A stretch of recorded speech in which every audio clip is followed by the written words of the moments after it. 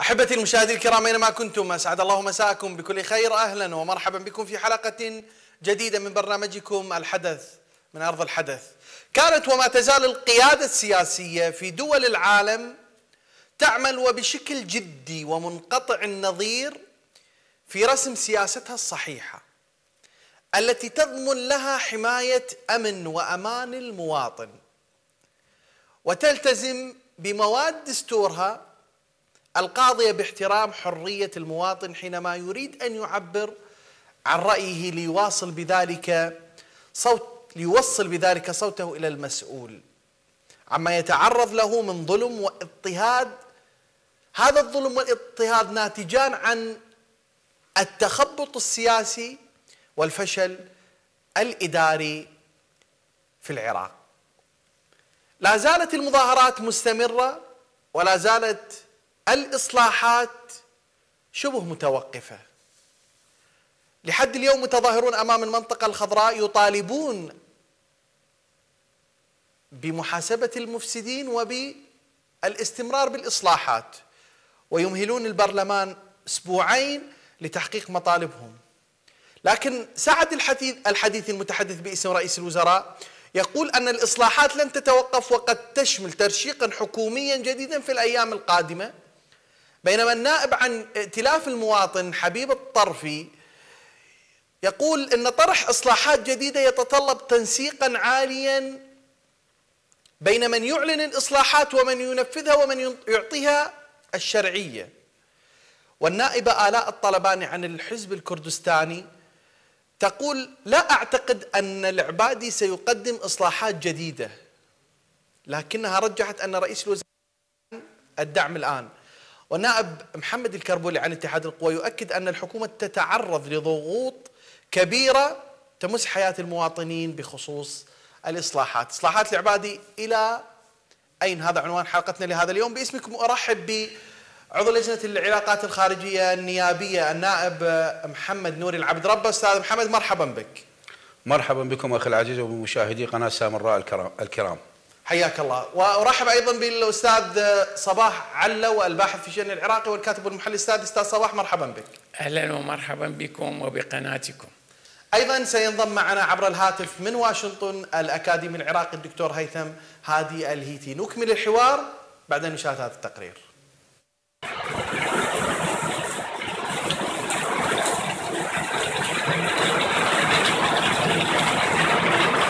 يبدو أن أجواء العراق السياسية شبيهة بمناخه فهي متقلبة لا تستقر على حال معين. فبعدما حظي رئيس الوزراء الدكتور حيدر العبادي بتأييد وإسناد من قبل الشعب والمرجعية والكتل السياسية عادت اليوم بعض الكتل تلمح إلى احتمالية سحب الثقة عن العبادي بسبب عدم تنفيذه لبرنامجه الإصلاحي. اليوم نلاحظ أن بعض الكتل السياسية بدأت للأسف الشديد تسحب أنفسها من وكأنما تريد أن تسحب الثقة عن عن سيد العبادي بسبب مماطلته لهذه الإصلاحات، مماطلته لبعض القرارات اللي يطرحها ويتراجع بها مرة أخرى. يعني اليوم نلاحظ السيد العبادي إنه هو ليس صاحب القرار وكأنما هناك شخصية أخرى تملي عليه هذه القرارات وهو لسان الناطق لتلك الشخصية ويطرحها ومن ثم يتراجع عنها كسلم الرواتب وغيرها من القرارات العفو قانون اللي حصل عليه كثير من اللغط هو القانون الحرس الوطني. يعني للأسف الشديد لحد الآن نلاحظ هناك مماطلة و كأنما أشياء مطاطية. فيما يرى آخرون أن مسألة تغيير الحكومة مرهونة بأمرين. الأول استمرار الحراك الجماهيري والمتمثلة بالتظاهرات والثاني سحب تأييد المرجعية للحكومة ورئيسها وهو ما يفقدها شرعيتها التي تؤهلها لقيادة البلاد. أنا أعتقد أن الإصلاحات موضوع عائم لا ينفذ. كما أعتقد أن عملية سحب الثقة واحتمال سحب الثقة من العبادي هذا لا يتم إلا بأمرين مهمين. هما استمرار الحراك الشعبي وتصاعده بقوة وبهدف مشروع واحد هو سحب الثقة من العبادي وإعادة تشكيل الحكومة والبرلمان. ومسنودة بدعم المرجعية الدينية التي لها يعني قاعدة جماهيرية واسعة في العراق ومن جميع المكونات. هناك تصريح لدولة القانون خلال 48 ساعة سحب الثقة من العبادي أنتم إذا تسحبون الثقة من ليش خليتوه؟ الرجل هو ما كان رايتها الرجل هو جيتوا خليتوه اختاريتوه لهذا المنصب لخروج المالكي. هسه تختارون زي منو ترجعونه؟ ماشي. إحنا إحنا ما إحنا كشعب لحد الآن صار سنة على العبادي ما سوى شيء. إحنا مع مع كل من يعمل لهذا البلد. نعم بالتأكيد العبادي آه، ما حقق شيء. نعم بالتأكيد بقية الكتل تسحب الثقة من يمه. هذا ما يتمنى الشعب العراقي لأن لحد الآن صار ما يقارب 13 مظاهرة للناس تطلع بالشارع لحد الآن ما حد استجاب إلى مطالبهم. يذكر أن العبادي توجه مؤخرا إلى مدينة النجف الأشرف للقاء المرجعية الدينية. في وقت يراها مراقبون بأنها محاولة لكسب تأييد المرجعية بعد تخلي بعض الكتل السياسية عن مساندة رئيس الوزراء في ظل تزايد تلميحات بعض الكتل بسحب التفويض من حكومة العبادي من بغداد أسامة أنور قناة سامراء. مرة أخرى أحبتي الكرام مرحبا بكم. أبدأ مع آه، النائب محمد نور العبد ربه. أستاذ محمد مرحبا بك مرة أخرى. سنة أول سؤال أسألك عن كيفية ال ال الإصلاح. هل يبدأ العبادي إصلاحاته من حيث يتفق جميع رؤساء الكتل السياسية أم آه يبدأ إصلاحاته وفق قانون الغاب مثلا؟ تفضل سيد محمد.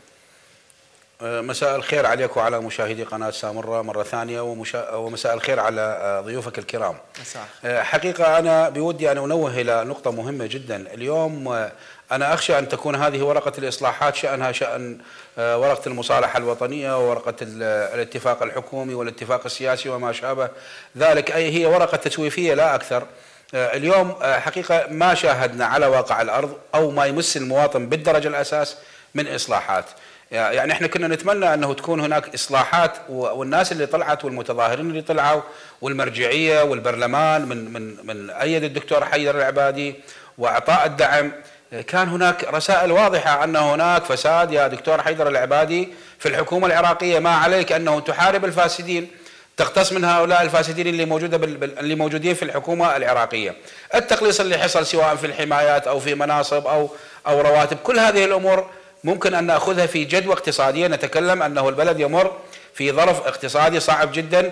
من الممكن أن تساهم هذه المناصب وتقليص الحمايات وتقليص الرواتب أن تساهم في حل أزمة اقتصادية. اليوم إحنا نتكلم عن إصلاحات.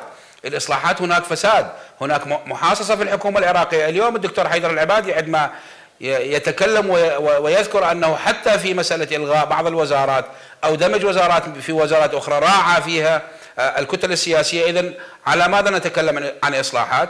اذا اليوم لحد اليوم إحنا نتكلم عن إرضاء محاصصة ونتكلم عن حكومة آه، تنتهج نهجا آه، توافق توافق بين بين الكتل السياسية.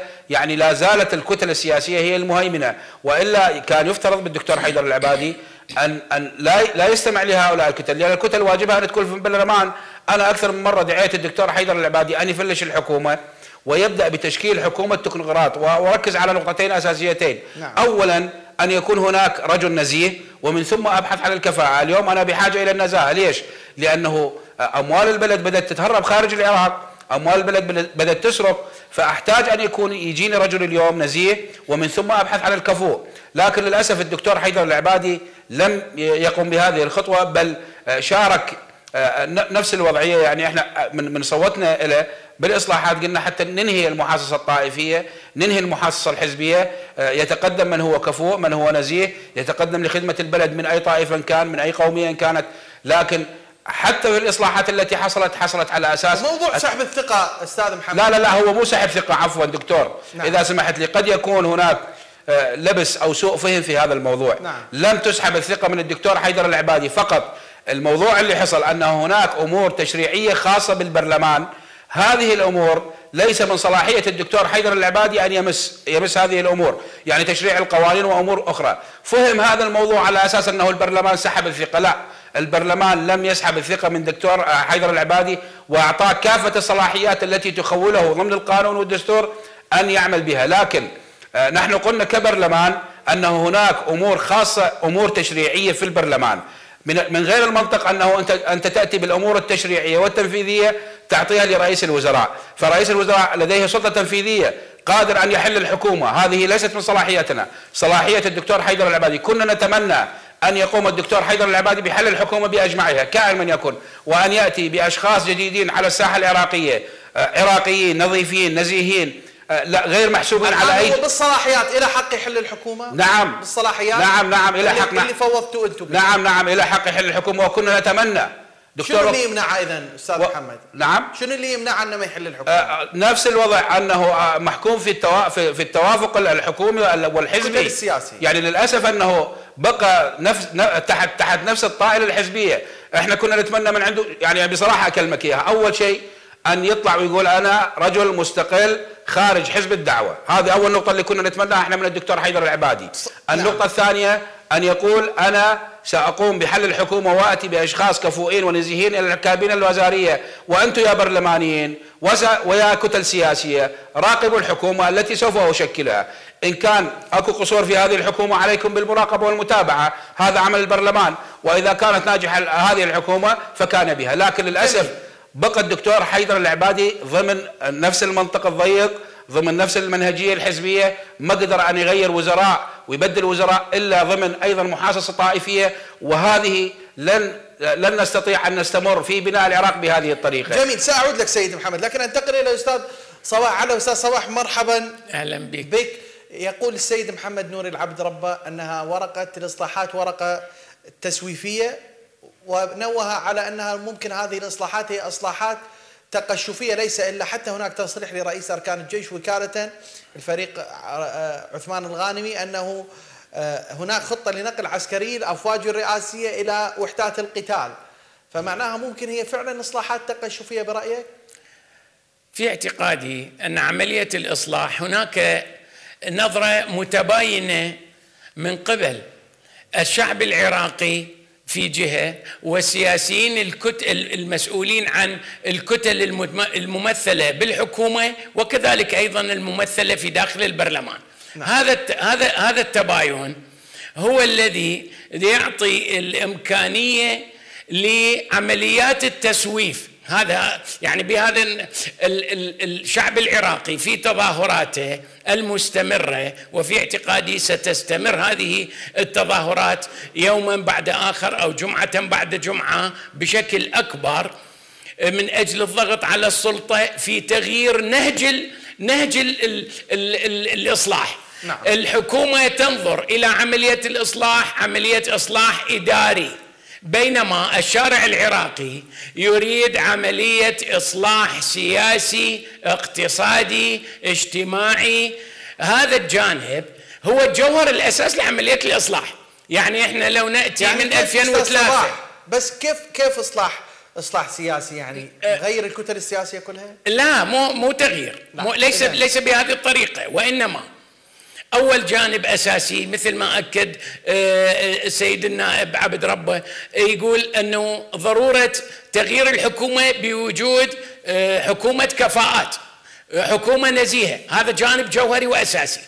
بمعنى الإبعاد عن طريقة التعيين وفق المحاصصة الطائفية بصراحة التي هي أثقلت كاهل الأزمات والعراق منذ 2003 ولغاية الآن.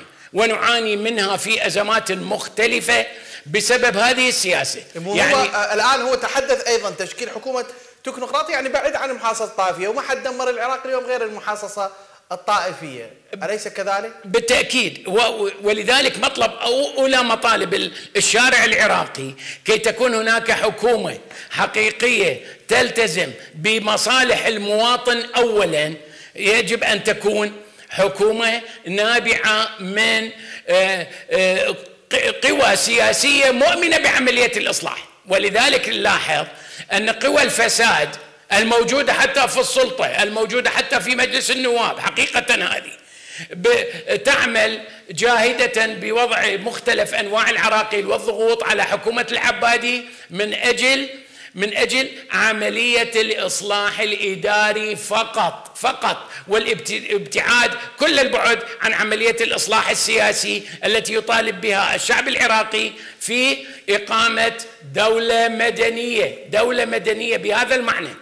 ولذلك نلاحظ لو نشوف الشعارات التي ترفعها يرفعها المتظاهرون كل جمعة تطالب اولا بمحاسبة الفاسدين ولكن قوى الفساد ما تمتلكه من إمكانيات وقوة جعلت من العبادي يتباطأ وبشكل آه، أصبحت وكأنه مثل ما أكد السيد النائب وكأنه عملية تسويفية. هذا هذا بدأ ينعكس على الشارع العراقي.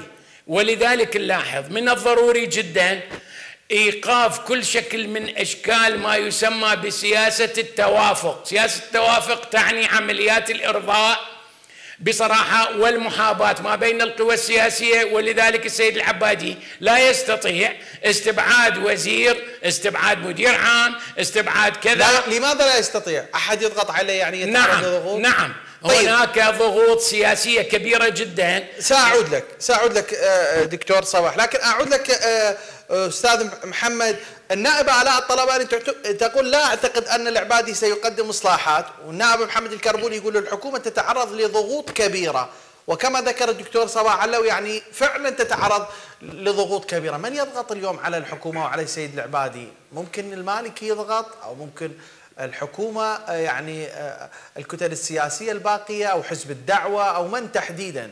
بل بينما المرجعية تضغط بالضد. تريد إصلاحات اليوم المرجعية وأن تمشي عجلة الإصلاحات إلى الأمام. تفضل. يعني هو اليوم أنا تحدثت بشيء. هو ما ردت أن أتوسع بالموضوع لكن هسه أنطيك بعض التفصيلات. اليوم نعم.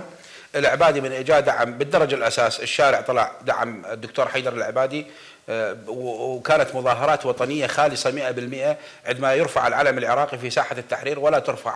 أي أعلام لا حزبية ولا طائفية ولا فئوية. رفعت الأعلام العراقية بمعنى هذه تظاهرة وطنية. جميل. أعطت ال ال ال رمت الكرة في ملعب الدكتور حيدر العبادي.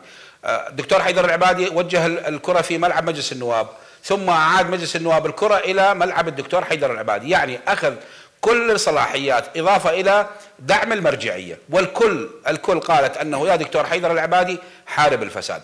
دكتور حيدر يفترض في الأسبوع الأول أو الثاني يعمل على إصلاحات جذرية كاملة في الحكومة لأنه هو صح أعلى سلطة تنفيذية في البلد هو رئيس الوزراء العراقي. يفترض أن يعمل هذه الإصلاحات سواء في الكابينة الوزارية سواء في الهيئات اللي موجودة في الحكومة العراقية.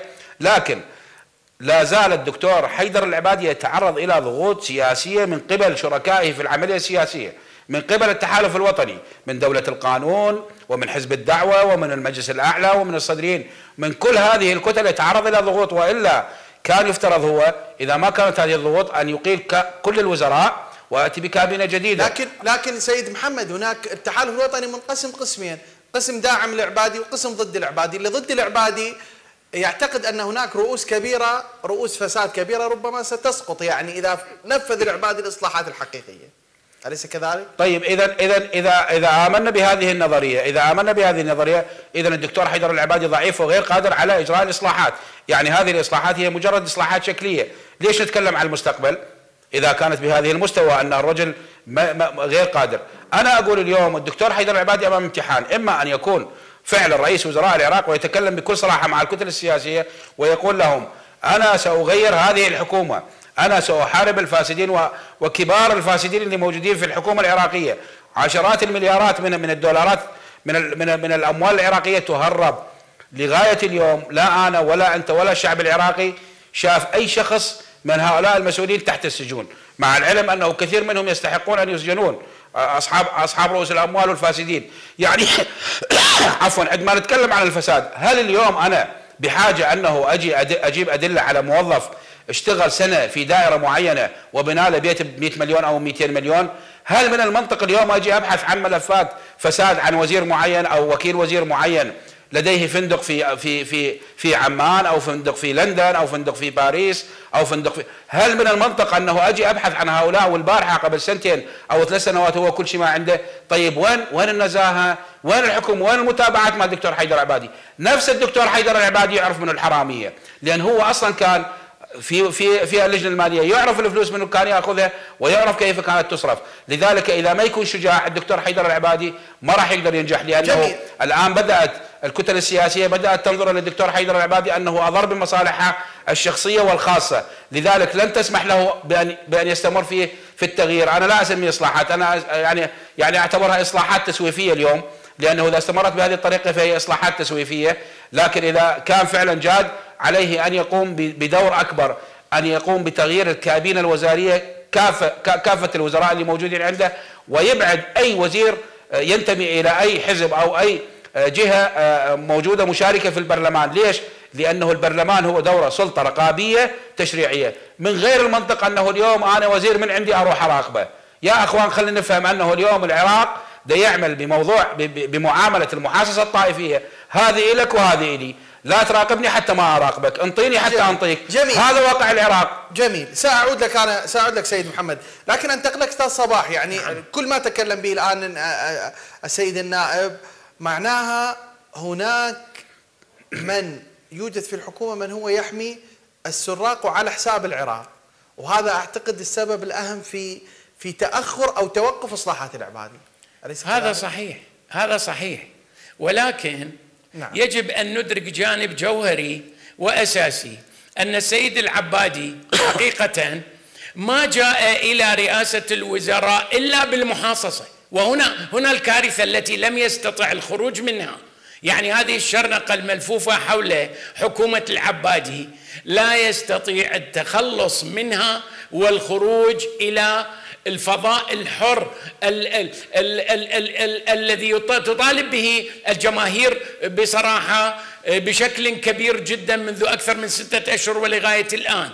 هذا الجانب هذا الجانب هو العامل المعرقل. ولكن أنا أرى على الساحة العراقية خلال الستة أشهر الماضية وخصوصا هذا الشهر الماضي مستقبلا خلال الثلاثة أشهر القادمة. سيكون هناك تغيير تغيير جوهري جوهري في اعتقاده أما في عملية بناء الحكومة جديدة أو عملية تغيير تغيير لرئاسة آه، الوزراء بالاتيان بشخص يمتلك القوة يجب أن يكون مدعوما مدعوما من طيب. جميع الكتل عفوا نعم. من جميع الكتل السياسية التي لم تعطنا لم تعطنا صورة من صور الفشل التي نراها في الظرف الحالي.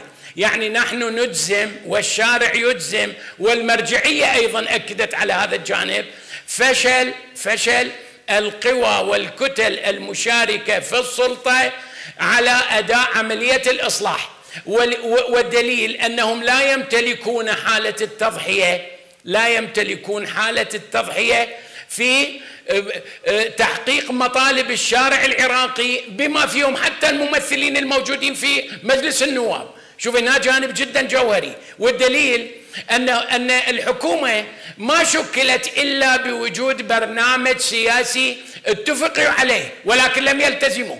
وهناك الكثير من القوانين والقضايا السياسية الجوهرية التي يجب على آه، آه، تعمل على تنفيذها ابتداء من عمليات المصالحة، عمليات إطلاق سراح آه، الأبرياء الموجودين منذ منذ سنين في السجون وغير ذلك، هذه كلها لم تستطع الالتزام بها، دليل دليل على أن الكتل السياسية التي أقرت هذا الجانب هذا الجانب الإصلاحي بكتلة بمجموع مجلس النواب حقيقه أفرحنا في وقته ولكن ولكن لم يستطيعوا دعم العبادي سياسيا في عمليات التنفيذ والكشف عن كل أسرار عمليات الفساد التي مر بها العراق.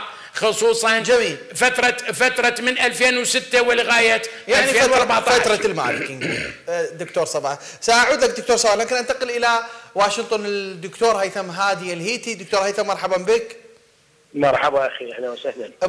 برأيك يعني توقف إصلاحات رئيس الوزراء آه، آه، دكتور حيدر العبادي خيبت الآمال؟ آه، كان هناك ضغط من المرجعية من جانب وضغط من الشارع العراقي من جانب دفعت سيد العبادي إلى أن يقوم بإصلاحات كشف أكثر من مرة الفاسدين والسراق. آه، تحدث مرة بلهجة قوية وقال القائد الضرورة وأفرغ خزينة الدولة بالهبات وامتلك عدة قنوات وفاز بالانتخابات وإلى آخره.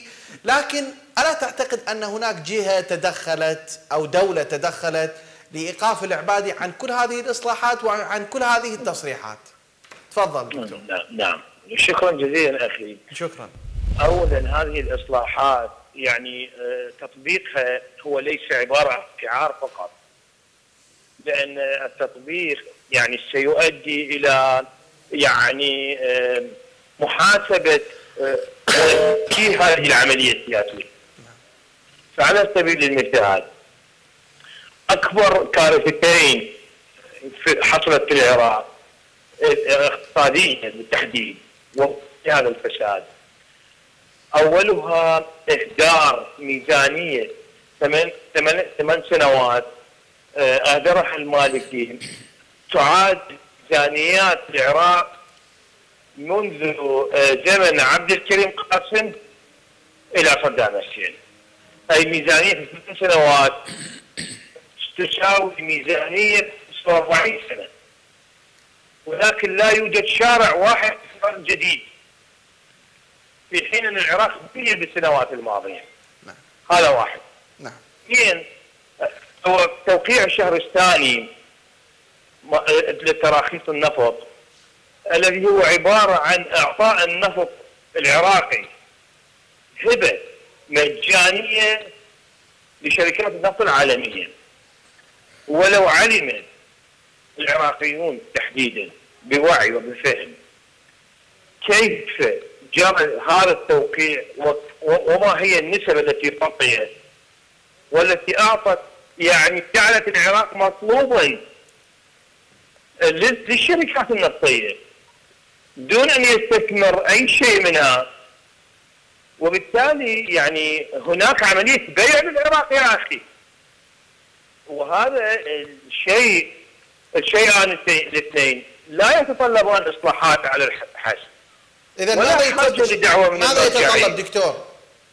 نحن وصلنا إلى نقطة انهيار اقتصادي كامل وفساد آه، يعني آه، قمة وبالتالي لا خيار للعبادي إلا شعار هو الإصلاح إذا أراد الدخول فيه بحقيقة فهو سيدخل بمعركة ضارية أما تنهيه أو تنهي الآخرين وأنت ماذا تتوقع؟ إذا كانت تنهيه أم تنهي القضية الآخرين؟ مجاملات وشعارات دكتور هيثم ماذا تتوقع؟ نعم. تنهيه أم تنهي الآخرين؟ أم لن يدخل في معركة آه. أساسا؟ نعم نعم آه، في الحقيقة آه، أنا أرى أن العبادي إذا أراد أن يكون وطنيا ويتخذ قرارا صائبا في المواجهة المواجهة النهائية والحاسمة فهو سينتصر لأنه سيجد كل الوطنيين حوله وخلفه يدعموه. أما إذا فكر بفكر آه، آه، الأحزاب والقضايا الطائفية فسينتهي حتما قريبا. جميل. شكرا لك دكتور هيثم هذه الهيتي من واشنطن. شكرا جزيلا لك. أعود لك آه، السيد النائب محمد النوري العبد ربه. يعني الدكتور هيثم الهيتي يقول توقيع الشهرستاني لتراخيص النفط وهو إعطاء النفط العراقي هبة لشركات النفط العالمية. ما رأيك بهذا الكلام؟ يعني كلام 100% دقيق وقد يكون هناك خفايا أكثر من هذا الموضوع. يعني اليوم أنت تتكلم عن عن عمليات استخراج للنفط وبيع النفط يعني بن- بنسب آه، قد قد يصل إلى إلى نصف نصف القيمة. يعني تتكلم عن آه، استخراج النفط يعطى للشركات ما يقابل 20 أو أكثر من 20 دولار للبرميل للبرميل الواحد. مع العلم يباع البرميل ب 40 40 دولار أو أقل من 40 دولار. إذا نسبة الاستخراج كلفة الاستخراج راح تكون أكثر من النصف. ومن من المتوقع أن ينزل سعر برميل النفط إلى أكثر من هذا الحد. المشكلة أنه آه، دكتور ال- المشكلة أنه ما عندنا علاج في الحكومة العراقية. يعني للأسف الشديد أنا اقولها وبكل صراحة ماكو علاجات لهذه الأمور. اليوم أنت كانت مقدمتك حلوة يعني. اليوم ال- ال- الدول تعمل شلون شلون تحترم الإنسان اللي عندها، شلون تنمي الطاقات اللي موجودة في المجتمع، آه، شلون آه، تدعم القطاع التعليمي، القطاع الصحي، العدل اللي موجود مثلا المتمثل في القضاء، للأسف اليوم العراق يتنافس بإيش يتنافس ويطلع أول؟ يتنافس ويطلع أول في الفساد، يتنافس ويطلع أول في الجريمة، يتنافس ويطلع أول في الهجرة، يتنافس ويطلع أول في موضوع النازحين، وهكذا ما عندنا ما عندنا شيء مثل البلدان البقية أنه نتنافس كيف كيف نصنع شيء جديد، كيف نقدم لمجتمعنا شيء جديد، اليوم المواطن يعني شنو يريد من الإصلاحات اللي طلع يتظاهر عليها وحكى عليها وطلعوا بالشوارع ولا زالوا يطلعون صار لهم ست اشهر، اراد أن تحسن الوضع المعاشي مالته، راد أنه توفر له أمن توفر له طاقة كهربائية توفر له المقومات البسيطة اللي ممكن في أي دولة من دول العالم هي موجودة. ما طلع المواطن حتى يا يا دكتور حيدر العبادي حتى تطلع الوزير الفلاني أو تنقص رواتب الموظفين. طلع أن تقدم له خدمات. أخي اليوم الحكومة عاجزة. وإلى الآن سيادة النائب إلى الآن لم يتم تقديم أي خدمات. واليوم المتظاهرين يمهلون الحكومة أو يمهلون البرلمان أسبوعين ويهددون بمحاصرته. ما رأيك بهذا التصريح؟ لا لا من من حق المواطن اليوم أن يتكلم لأنه هو اللي قعدنا على الكرسي هو المواطن هو اللي قعد حيدر العبادي هو المواطن هو اللي قعد الحكومة هو المواطن اليوم. المواطن يعني أنا مع احتراماتي للمواطنين أيضا كان عليهم مسؤولية في سوء الاختيار لأنهم تخندقوا طائفيين تخندقوا إلى إلى قسم من الأشخاص قد لا يكونوا مؤهلين لأن يشغلوا أعضاء في مجلس النواب أو حتى في الحكومة.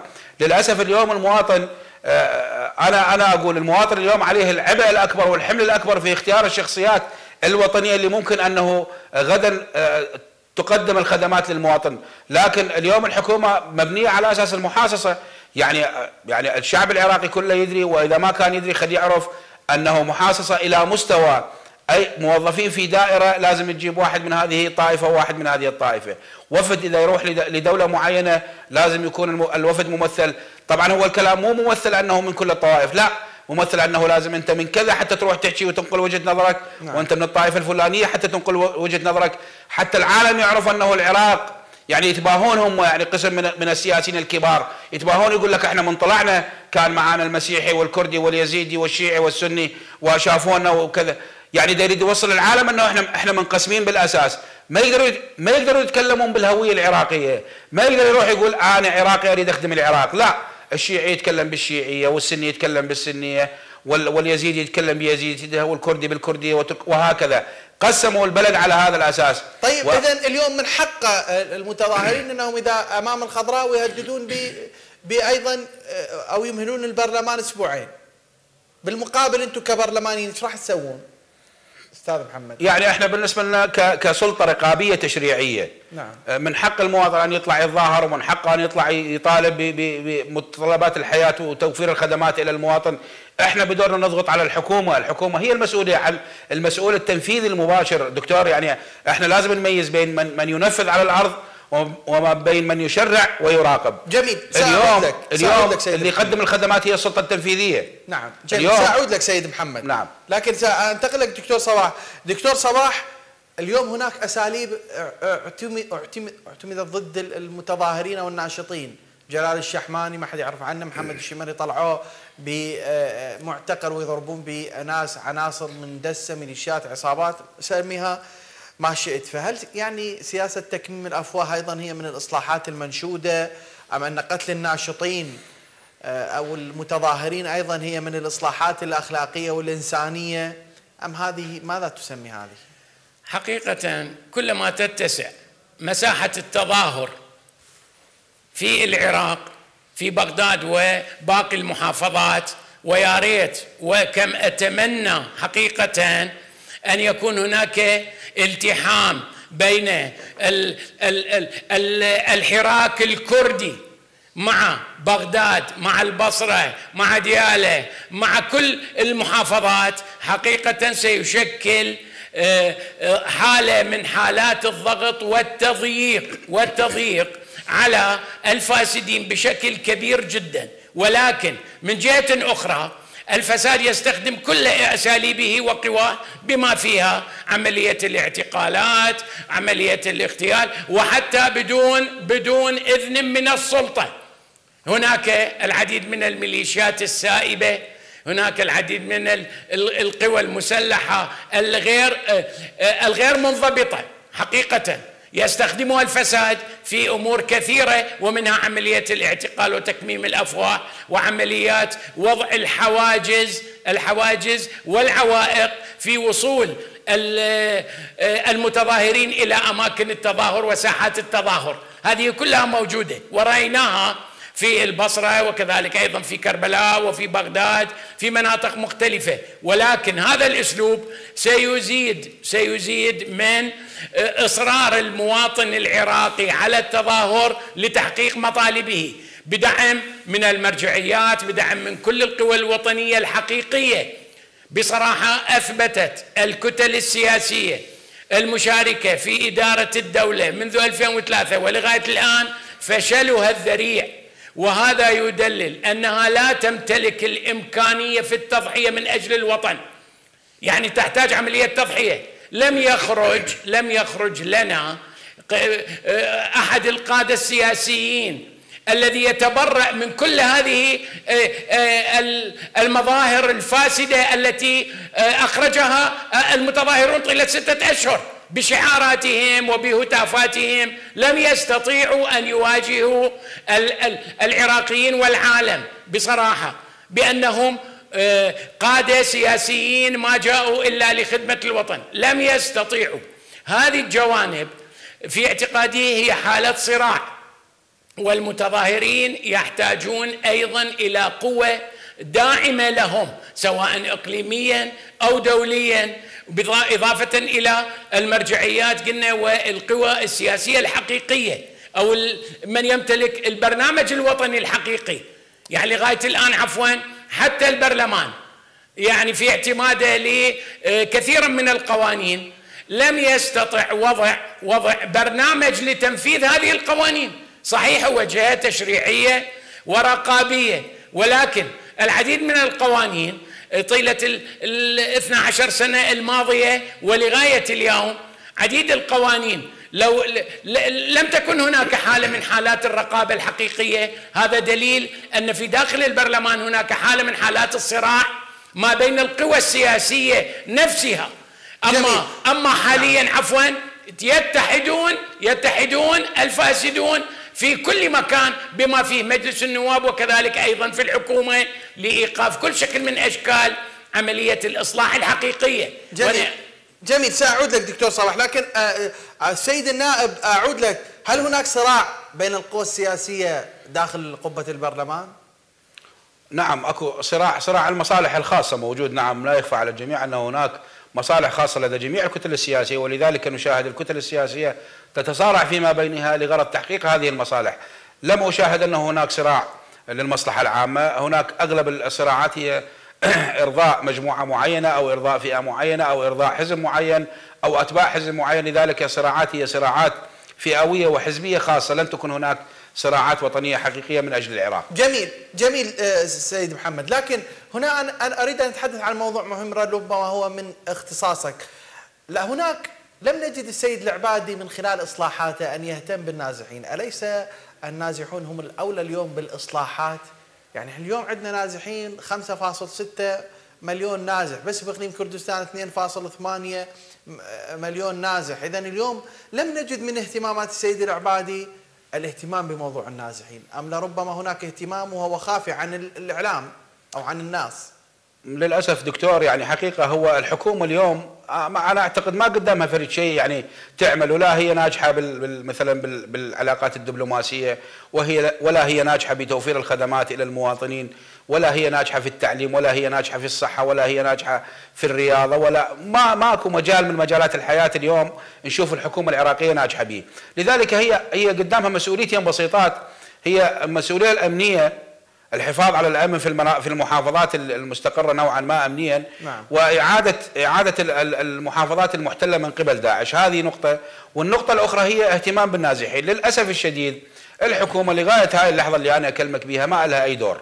يعني أنا على مستوى عضو برلمان وقد أكون يعني ما أريد أتكلم فيما عملت أنا بصراحة لكن أنت سألتني فراح أوضح بعض الأمور. نعم إحنا أنا سألتك لكي توضح أنت. أنا من خلال شهرين أو ثلاثة شهور ولحد الآن توجهت إلى تركيا عشرات الآلاف من النازحين العراقيين في تركيا استطعنا أن نعيد ما يقارب 3000 شخص من عندهم. يعني أنا اعادتهم على حسابك الشخصي؟ لا أم اللي كانوا على حساب الوقف السني؟ لا لا الحقيقة كانت هناك طائرات على حساب الوقف السني. والحكومة ما لها علاقة. لا لا ما لها علاقة. كانت ما لها علاقة. لا لا الطائرات كانت على حساب الوقف السني. المنشآت كانت على حسابي. آه، أكثر من منشأة استطاعت الحمد لله أنه آه، آه، يعني نرسلهم إلى داخل الحدود العراقية. هاي كانت على حسابي الشخصي يعني. هناك طائرات يعني طائرة ذاك الأسبوع وطائرة إن شاء الله بعد بكرة. هذا على حساب وزارة الهجرة والمهجرين بعد أن يعني تابعناهم وطالبنا الوزارة ولا زلنا نطالب. وأنا خاطبت حتى وزير النقل ودزيت رسائل أنه يساعدونا بإعادة هؤلاء النازحين، للأسف الحكومة لحد هذه اللحظة لا لا لم تقم بواجبها الحقيقي تجاه هؤلاء النازحين، إحنا نتكلم أكو نازحين داخل العراق بالمقابل أكو نازحين خارج العراق، يعني هم ليش نزح خارج العراق؟ قد تكون الحكومة ماخذة موقف من هؤلاء النازحين اللي خارج العراق، اول النازح يتوجه إلى الإقليم ما يدخل. وعليه إجراءات أمنية ويصير وما يصير وكفيل وما كفيل. نعم. بالمقابل إذا يروح لبغداد نفس الوضعية أيضا على جسر بزيبز يبقى فيلجأ أنه يدخل إلى الأراضي التركية. الأراضي التركية ما تقول لك أنت وين رايح. فتت فتت. ما فتت لزموك الشرطة وقفوك. فيلقي أسهل أنه يدخل إلى تركيا. لذلك عندنا عشرات الآلاف من العوائل المهجرة الآن في تركيا. أنا يعني صار لي مدة أتابع هذا الموضوع. نعم. عشرات الآلاف من الطلاب اللي قد يروح مستقبلهم. للأسف للأسف للأسف الحكومة لغاية هذه اللحظة لم تقم بدورها وأنا متابع لهذا الموضوع وأنا من خلال قنواتكم من خلال قناتكم أطالب كافة الوزراء وكافة الجهات الرسمية أن تقدم المساعدة حتى نستطيع أن نعيد كثير من عندهم. هؤلاء يرغبون بالعودة إلى العراق لكن لا توجد لديهم إمكانيات مادية. إذا رجع للعراق يحير وين يروح يقعد. إيجار ما يقدر يدفع إيجار. إمكانيات العيش. لذلك اليوم الحكومة أثبتت ضعفها أمام النازحين داخل العراق وخارج العراق. جميل. سأعود لك سيد محمد. لكن أنتقل لك دكتور صباح. نعم. اليوم تصريح للسلطة القضائية أنهم جهزوا قانون أرسلوه إلى البرلمان هو بتخفيض رواتب القضاة وأعضاء الادعاء العام. بالمقابل يعني ترشيق وزاء ترشيق للرواتب. لكن بالمقابل إحنا بمقابل هذا الترشيق ألا نحتاج إلى ترشيق السلاح أيضا؟ هناك عناصر مشجاويه في ديالة تحرق وتسلب وإلى آخره في الطارمية أيضا اليوم كما ورد هناك حرق أيضا في بغداد عمليات اغتيال حتى في البصرة أقصى جنوب العراق اليوم أيضا عمليات قتل و يعني مضايقات على الناشطين. لماذا لا يستطيع السيد العبادي اليوم ترشيق الميليشيات أو ترشيق السلاح لنقول؟ حقيقة ضعف الدولة ضعف الدولة. أو ضعف الحكومة بالدرجة الأساسية هذا يشكل بصراحة خطر كبير جدا ويعطي الفرصة يعطي الفرصة الكاملة الكاملة للقيادات السياسية أن تبني نفسها آه، آه، بشكل آه، كأنها دولة حقيقة. يعني هناك كتل سياسية تمتلك من الميليشيات المسلحة في حماياتها وغيرها لا تعير اهتماما بقوانين الدولة. وهذا يشكل خطرا كبيرا في سياسة الدولة لكن يدلل على أن السلطة في بغداد من الضعف لا تمتلك الإرادة أن تضع كل هذه هذا السلاح والقوى الموجودة بخارج نطاق آه، الجيش والشرطة بصراحة أن تضعها تحت صلاحياتها وتحت قوانين ثابتة تستطيع أن تتحكم بها الدولة وهذا اللي يشكل إن نعم. الخطر الأكبر القادم وقد يستثمر من قبل الفساد في عمليات التغيير المستقبلية وهذا وهذا وارد. نعم جميل. لكن بكلمات أخيرة إصلاحات العبادي إلى أين برأيك؟ في اعتقادي إصلاحات العبادي في الظرف الحالي ما نقول عنها متوقفة وإنما حالة من التباطؤ لجملة كبيرة من الأسباب. قوة التباطؤ أو, أو السبات. لا دكتور. تباطؤ. في اعتقادي تباطؤ. عملية الترشيق في المرتبات وغيرها. هذه جا هذا جانب نتيجة الأزمة المالية التي يعيشها العراق وليس عملية إصلاح. يعني حتى ترشيق المرتبات للقضاة وغيرهم وإنما يتطلب عملية إصلاح القضاء بكامله. كي, كي يكون لدينا عدلا ممكن. لكن لا يستطيع اليوم السيد العبادي حتى إقالة السيد مدحت المحمود من الصعوبة أعتقد. ليس ليس كذلك هي ليست نعم. إقالة شخص نعم. أنت من تستطيع أن تضع نظاما جديدا للقضاء وفعلا تعطيه الاستقلالية الحقيقية من يكون لينفذ لنا هذا هذا الإصلاح يعني هي ليست إقالة أشخاص. إقالة أشخاص قلنا هذا عمل إصلاح إداري وليس عملية إصلاح جميل. حقيقية سياسية. جميل. شكرا دكتور صباح. لكن سيد النائب بكلمات إصلاحات العبادي إلى أين برأيك؟ يعني حقيقة إصلاحات الدكتور حيدر العبادي إذا لم تمس الفاسدين في الحكومة العراقية الحالية والسابقة فهي إصلاحات تسويفية لا جدوى منها. وإذا لم تنقذ النازحين؟ يعني حتى حتى النازحين يعني هو أنت يعني أنت من تحارب الفاسدين ومن تحاسب الفاسدين راح تكون عندك اموال تستطيع أن تصرف بها على النازحين.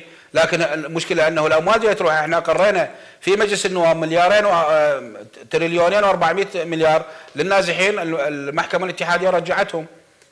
يعني ما ما وافقت عليهم. قالت هذا هذا مو من صلاحية مجلس النواب ان يقر هذا الموضوع. فلذلك إذا ما يكون هناك حرب وعمل حقيقي على الفاسدين أنا أعتبرها اصلاح إصلاحات تسويفية لا جدوى منها في النهاية. النائب محمد نوري العبد ربه عضو لجنة العلاقات الخارجية النيابية. شكرا جزيلا لك وشكرا للدكتور صباح علا والباحث في الشأن العراقي والكاتب المحلل السياسي. شكرا لك دكتور صباح. كذلك شكرا للدكتور هيثم هادي الهيتي الذي كان معنا من واشنطن. الشكر موصول لكم أحبتي على حسن المتابعة. نذكركم نحن من أرض غرورقت بدمع نهرين ينزفان عند القلب يفترقان ثم يتعانقان عند مرفأ الأوجاع حيث شط العرب. من أرض الحدث نلقاكم بإذن الله الأسبوع المقبل إلى ذلك من حين استودعكم الله. السلام عليكم ورحمة الله وبركاته.